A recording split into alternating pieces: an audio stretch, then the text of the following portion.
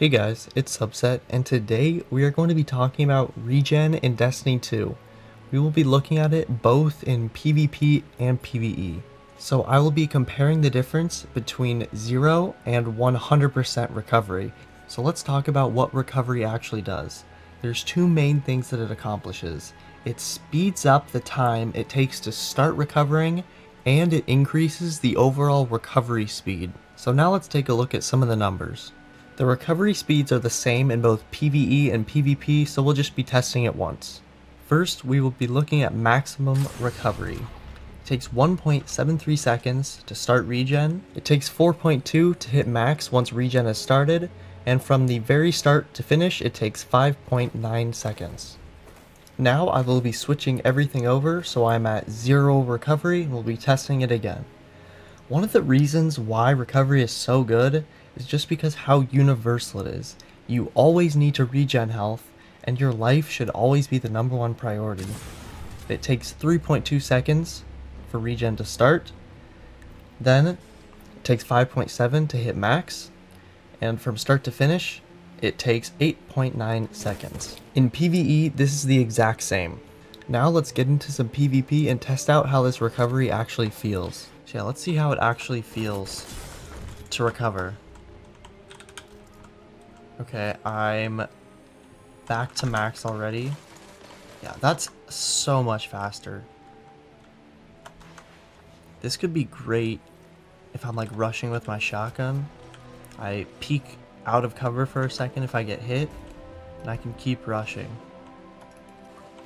This is definitely one of the best, if not the absolute best stats for PvP.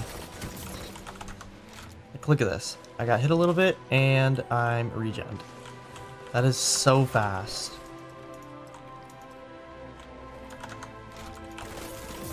Like that, that guy was sitting there at that health for so long.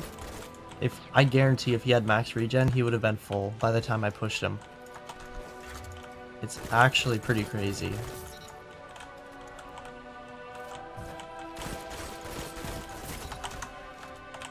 Here we go. Oh, I'm getting hit still. And I'm regenning. This is... It is so fast.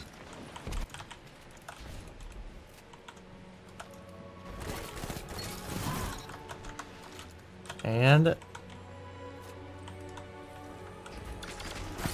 That is the perfect example. Right there. I got my regen in the perfect time that allowed me to push and be at max health.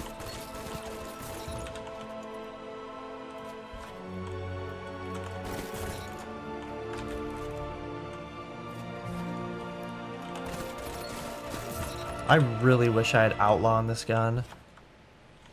This thing is an absolute shredding machine. Oh gosh, this is such a bad spot. Let's see. Oh! My regen came into play. Oh! There we go. Yeah, this is just a stat that affects every single gunfight. There's no other stat that does that. And it keeps you alive, which is obviously the most important thing in PvP and PvE.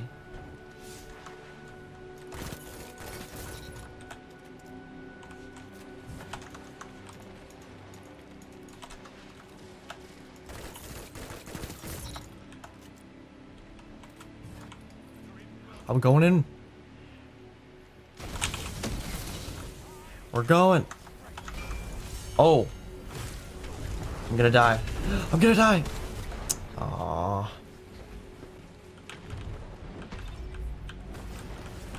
Oh no. Can I kill him? Yep. oh my god. I should not have shot a Dawnblade. That's a bad decision. Yeah, having max regen would also be great for if you're using a sniper, because you can instantly... Oh gosh, you can leave the fight. Oh my gosh, that guy got wrecked. I'm gonna die. You can leave the fight, regen really quick, and instantly enter back. Or say you get hit really hard, they start pushing you with a shotgun. By the time they get to you, there's a good chance you'll be at max. There's just so many situations, like every single gunfight.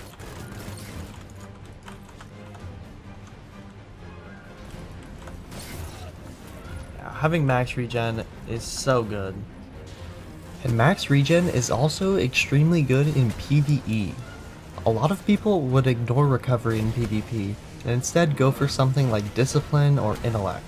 But in many situations, recovery can be a great stat to have ranked up, as its whole focus is keeping you alive, and that's one of the most important things in PvE. And it really does help. You'd be surprised at the amount of times that little bit of health that you are able to regen saves your life. And because of this, it's a great stat in both PvP and PvE, and you should really consider it when specking out your characters. That's it for this video on recovery. If you're new to the channel, make sure to subscribe. And if you liked the video, it really helps me out if you drop a like. And I'll see you guys in the next video.